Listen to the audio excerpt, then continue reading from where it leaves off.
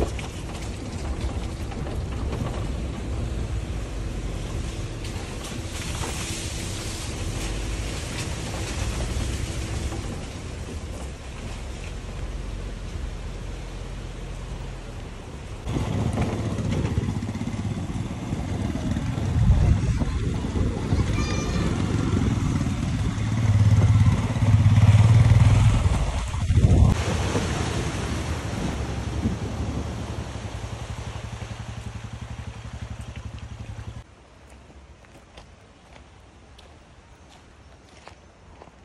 That back number plate is Smart.